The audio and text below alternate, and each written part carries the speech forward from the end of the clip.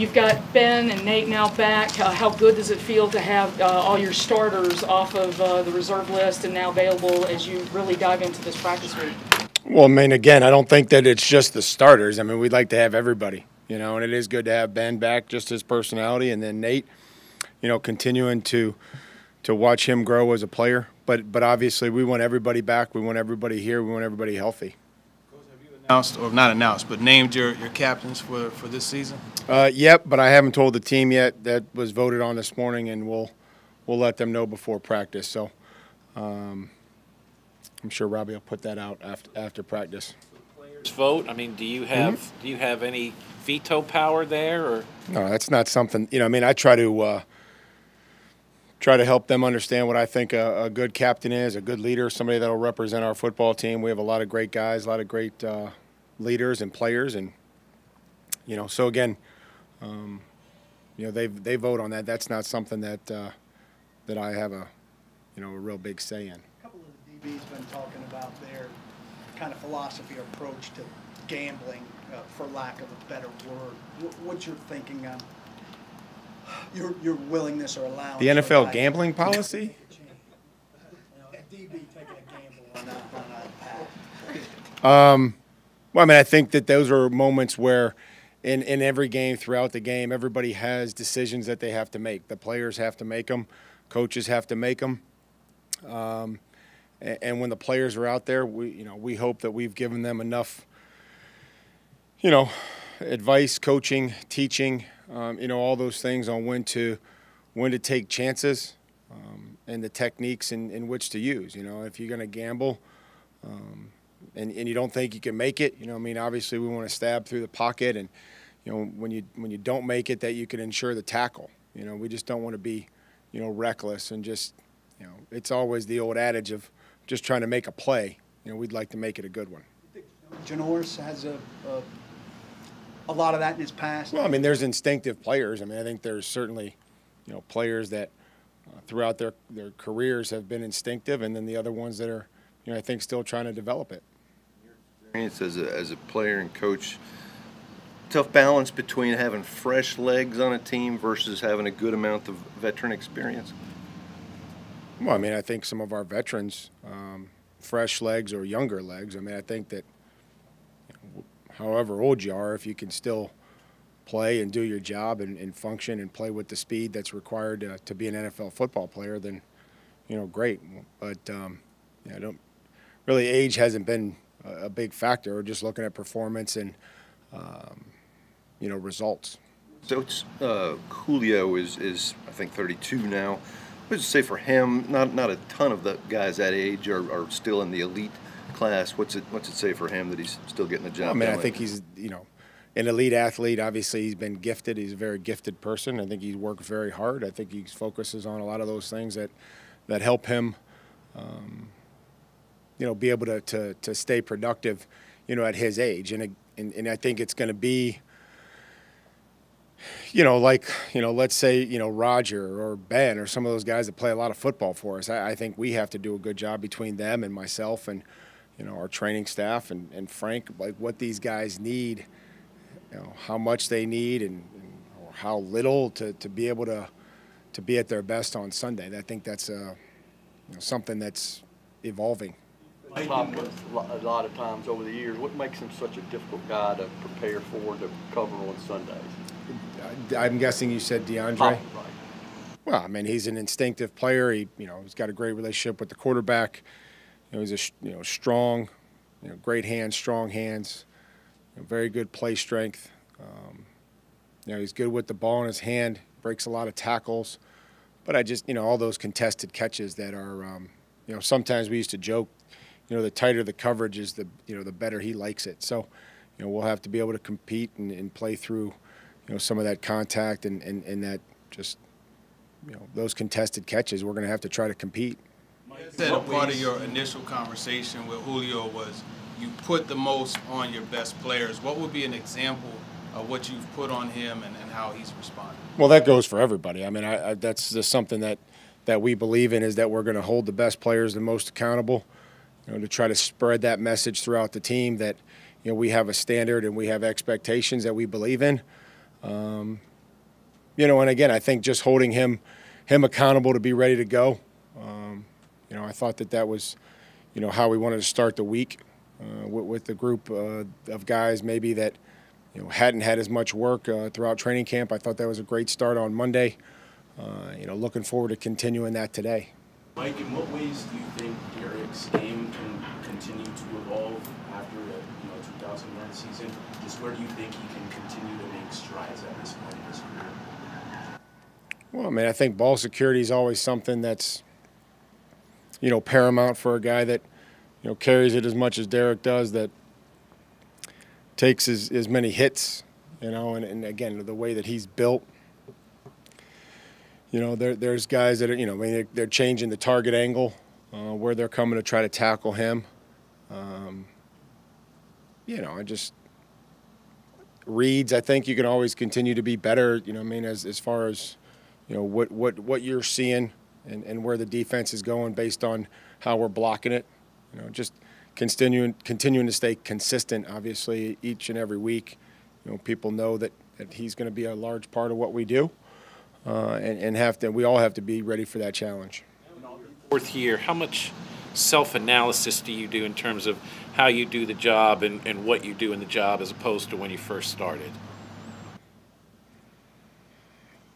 I mean, I just think, I mean, I'm not really reflecting on too much as far as, you know, I try to focus on improving and getting better and um, how, how I lead this football team and how, how we get ready and, and prepare. Um, the product that we put on the field is, you know, making sure, you know, that the operation, you know, is clean and that the players, you know, know what to do. And then, you know, there's a whole nother level of, you know, we've talked about this. When, they, when those guys go out there, you know, we have to have uh, confidence in them that they know their job and they're they're going to, you know, go out there and execute. At that point in time, it's it's the 11 players on the field. So, as far as my reflection, you know, I just have to make sure that we continue to to not do things that get us beat. You know, emphasize the the things that we believe are important.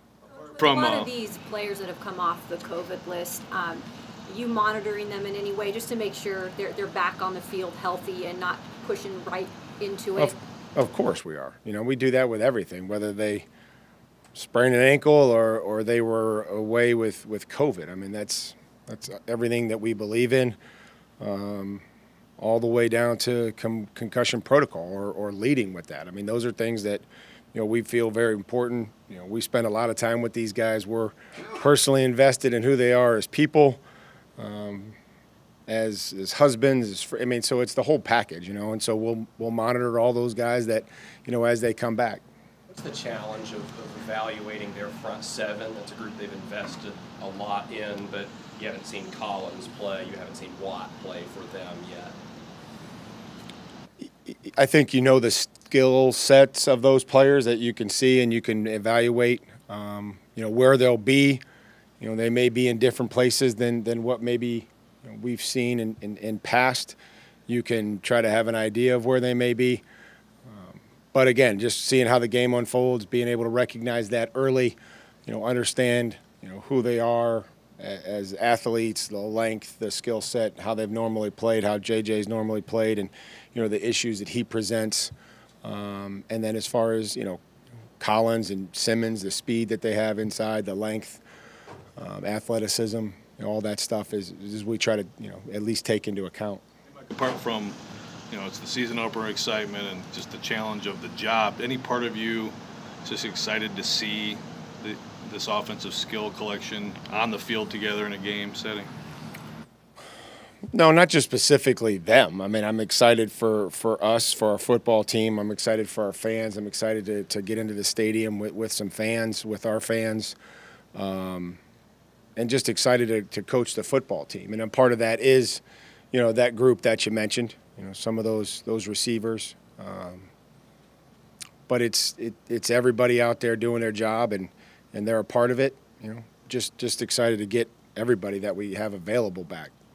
Been able to see, I guess, from Lamp and, and Sambrailo in terms of them being at the, you know, close to the top of their game or at the top of their game. Well, I mean, I think those guys are still, you know, they had missed some time. You know, I don't think they were full participants. You know, so I think that that that probably takes some time to to, to get back. And you know, we always talk about not being able to get those reps back, but we got to try to get them back here on the practice field and you know see where they can help us. Hey, buddy, welcome back. You doing, man? Uh, you mentioned a little earlier about Julio and trusting him to get ready.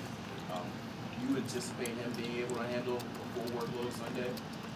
Um, you know, I think that we'll see where that is. You know, I'm not ready to, you know, commit to that, but until, um, you know, I find out otherwise, I would imagine that, it, you know, it would be. And, you know, there's a lot of different, you know, roles that guys play on the game and in the game plan. So, you know, we'll see where everybody is on, on Sunday and, and how they, they function within um, that game plan. You kind of obviously had a very, you know, clear maintenance schedule with, you know, Derrick over the last couple of years um, in, in practices and then ramping up whatnot. I was wondering, like, if there, in, in any ways, you know, your philosophy of, of how to maintain him has changed um, over the years and as he's racked up, you know, more carries. I mean, he does a lot of that on his own. You know, I mean, I think his preparation and, you know, we try to monitor and, you know, replicate some of those game distances and speed, you know, that he would normally have in a game.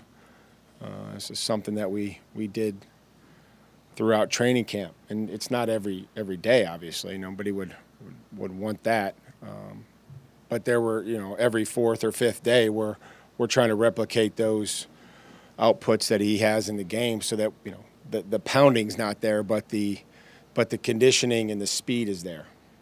The way you talked about right tackle yesterday, left open possibility like for rotation, are you contemplating something like that? Well, I mean, I think what we're contemplating is is trying to get and develop, you know, a roster that that we feel confident in in a lineup, and you know, we we have guys that are um, very accomplished that have played in this league, have started in this league, have played multiple positions. Um, you know, so you know that that's where we're at. We're not, you know, trying to to do anything other than than get the best guys out there and, and have guys to, to be ready to to go in there if they have to, um, for for a lot of different reasons. Do for cohesion if you are. Well, I mean, I think that, you know, um, as long as guys understand, and, and again, it's just not something that we know that we're going to do or not going to do. It's just, you know, guys that have rotated, um, and me personally, is that if you, um, you know, communicate and, and everybody's on the same page, like, hey, this is what we're going to do, this is what we're going to take a look at. Um, you know, I would say that everybody, in my experience, has been, you know, on board with it. I mean, whether they, um, you know, agree with it or not, I think that if we feel like it's best for the football team at, at any position, you know, that's what we would try to do. Michael stands out against the dual nature of Kyler Murray as a runner and passer. You know, he's just he's fast, he's explosive, he's athletic. Um, you know, he's quick, great short area quickness. You know, makes a bunch of guys miss. Knows knows where the first down marker is every time he runs. You know, very aware of that. Um, mentioned the other day the, the strength of his arm. You know, as I thought was something that not having studied him was really stood out. Um, you know, and I mean, seems pretty comfortable. Doesn't seem ever, you know, too rattled. You know, seems like very good composure, demeanor. As far as your captains go, I mean, what uh, what are your expectations for them? I guess you've seen guys handle things differently, and I'm sure you feel like you got a, several guys in this locker room who could be captains. But as a head coach, what do you want your captains to to do? Well, I mean, I think they, you know, they represent the team and who we want to be, and, and help carry that message. Um, you know, from from me, the coaching staff, into the locker room. You know, the players can, you know, ask them if you know some guys, you know, may may not may not want to come and ask me something. You know, and I think the captains usually can, and you know, I try to, you know, visit with them, but you know, there's no restrictions on leadership. You know, there's you know, guys are going to be able to lead whether we name them a captain or they were voted on by uh, their their their teammates as captains. That's that's critical to understand. The value of a hostile, packed home stadium in this league, and what, what do you anticipate this year in that regard? Um, you know, I mean, I think that that's certainly um, you know, if you can get out and, you know, I mean, you could get ahead in the ball game and you're forcing them to use the silent cadence, you know, and react off the football and, and not go off of a cadence. You know, those are all, or communication. You know, that's something that's, you know, difficult for us, you know, when we're on the road and it's loud. You know, so that would be, that would be helpful for a team that doesn't huddle much uh, this week. Uh, as far as my expectations, I, I mean, I, I, I expect there to be plenty of fans. I mean, it looks like people are dying to get back. You know, I mean, this this game and this sport. You know, people you just kind of noticed come, you know, the end of August, beginning of September. You know, people were just dying to watch football.